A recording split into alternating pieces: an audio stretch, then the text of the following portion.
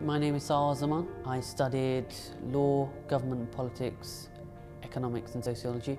What makes Hamlets College stand out is you're on doorstep to the city, the heart of Europe's financial centre, and you get that exposure to where you want to end up.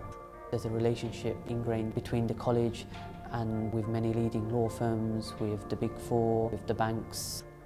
It's that relationship that gives Hamlets College the edge over many other institutions. Thank you.